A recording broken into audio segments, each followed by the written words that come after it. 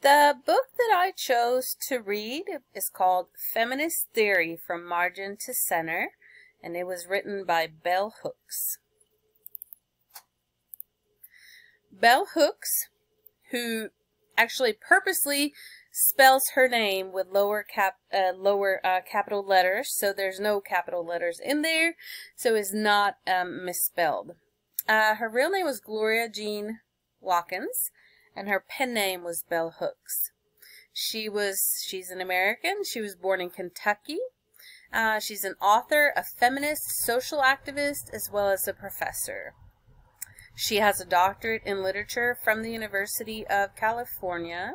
She was born into a working class African American family. She has had over 30 books published, uh, plenty of scholarly articles. Uh, she gives public lectures. There are plenty of uh, YouTube videos out there of her lectures. Uh, uh, and she has also appeared in multiple documentary films.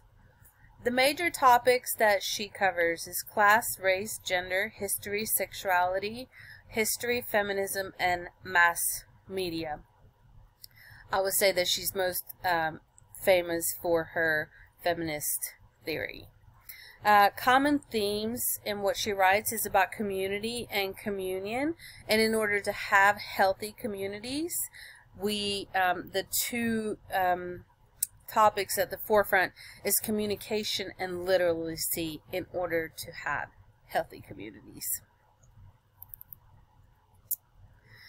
So, um, the book Feminist Theory uh, deals with women's liberation and that it was structured on a very narrow platform. It was uh, feminism to start with. I want to say too, this book was written in 1984. Um, the historic feminism was pretty much only for white females who were mostly privileged. Uh, she talks about the, the bored housewives. So, um, she, her famous claim is that feminism should be viewed as an interlocking of gender, race, and class and needs to be theory based. But the importance here is that it's not just sexism or se that you also have to take into account both gender and race and class. Um, Bell Hooks says that no other movement has been as self-critical as the feminist movement, but there's also been women's ability to change that has progressed the movement. Um, despite the feminist movement being criticized and bashed by many, uh, Bell states that everyone has benefited from the contemporary feminist movement and all the cultural revelations that it created. Uh, there was a friction between the white feminist movement and the radical revolutionary feminist movement because they saw the necessity of including race and class into uh, movement. But despite this movement, sustained feminist revolutions have not been created. We still see many of the issues today book was published in 1984. We still see women's reproductive right being challenged actually just the other day. So um, there are still much work to be done by Bell Hooks, and women need to unite. Um, I think this uh, little infographic shows a good interlocking. Um, the title of the book refers to black women, um, what she considered was they were living on the margin of society. Uh, they were being part of the whole, but they were never part of the main body. So they had a very interesting perspective where they were aware of both the center as well as the margin. And Bell says that uh, the oppression side, they were not really able to see this, um, but the the the black women, their survival was dependent on them being able to see both sides and being able to work with both. And also, she states that their survival was also dependent on them being able to see their part in the whole, but also that it was important that they saw that their part was vital and necessary, and that helped them overcome poverty and despair.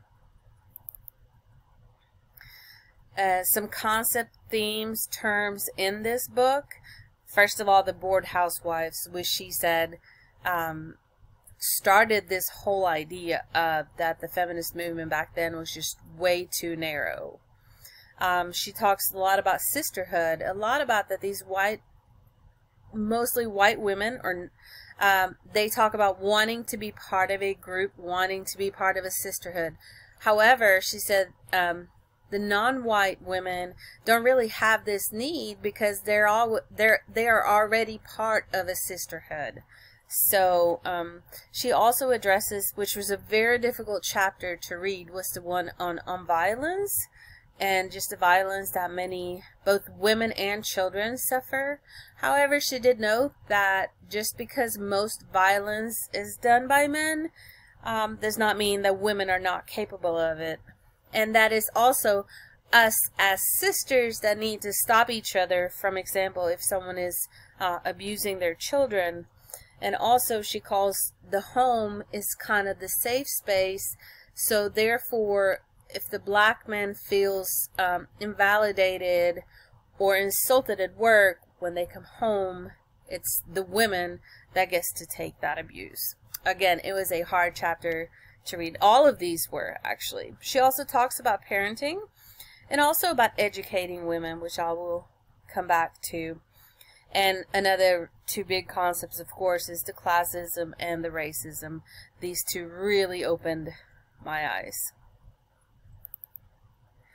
Um, my reaction to this book is that this is probably one of the most influential and eye-opening books I have read. But so it seems that this whole class and the whole social justice book that we're reading has is difficult to read. You kind of have to take it piece by piece. You can't just read it all through one. It helped me gain an understanding of the feminist movement, and what was so important was that how race, gender, and class are interlocked. She explains that while, for example, me as a white woman, I may not truly be oppressed, but I think I am, but also taking race into consideration. Um, so just me being born white, I have a privilege that not many other people have. However, I'm on the um, bad side of whatever when it comes to gender because I'm a woman. So you can be both oppressed and you can be part of the other side. She talks a lot about the patriarchal society um, where male dominates. However, she states this is harmful to both men and women. And women. There needs to be equality between women and men, but what she points out is what men are we talking about? Because there's a difference between white men and non-white men. So perhaps she says maybe white women uh, have a higher standing, so to speak, over non-white men. So there's a lot of different uh, puzzles going on, and that's what she said that this needs to be completely um, sexism needs to end because actually sexism will lead to racism and classism as well. So they're again they're all interlocked and they need to end. She calls it the white supremacist capitalist patriarchal values. Um, she talks a lot about the the need for a unifying definition of feminism and also the point that many women do not want to be involved with feminism. They don't want to be associated with it. So it's important that everyone comes together and that is based on theory. Uh, the connection to the course content, I feel this book could even be used as class material. It is so good because it relates to many of the concepts that we study in class. For example, we've already covered like racism and classism uh, and sexism, so this would be a great book. Or maybe like a small reading of it. Um, so feminism, she say, feminism should include everyone that's exploited, discriminated against, and or uh, oppressed. Um, I do proudly would like to call myself a lifelong feminist, um, and it's one of the most relevant things in my life that I have studied just because I felt that it gained I gained an understanding of so many um, things. And why I'm sometimes treated the way I am um, as a woman.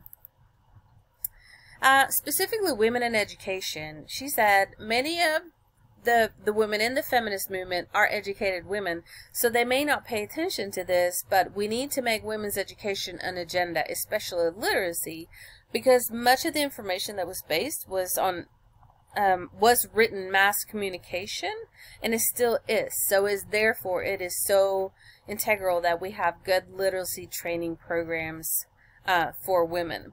1984 was of course pre-Google, but things are still very much the same. So literacy skills and critical thinking skills are uh, very important.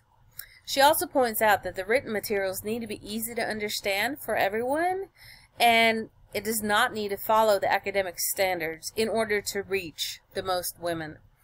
So it does not need to be complicated and difficult reading or writing. It needs to be so that everyone can understand it, so that some uh, women are not excluded. She also points out the gap between feminist theory and feminist practice. So what can I do? How does it relate to me as an educator? Well, first and foremost, I'm a public service and outreach employee, so this directly relates to my job because we are the bridge between the academic world and the people of the state of Georgia. Also, as uh, an HR employee, I can help to actively recruit and retain women, minorities, and under underutilized groups in society. It very directly re relates to my research on burnout, well-being, and resiliency because it can be directly associated with the feminist movement and women's issues. Women and special women that work full-time outside of the home, eh, it has been shown that they do the majority of the housework after work. So, um, Bell claims that we need to do take a lot of pride in the work and the household work that we do. However, based on my um, research on burnout, well-being, and resiliency, we still need to educate women on taking on too much and also be able to teach women good self-care and boundaries so that they don't burn out. And I want to end with this one from Bell Hooks. And she says, I will not have my life narrowed down. I will not bow down to somebody else's whim or to someone else's ignorance. Thank you.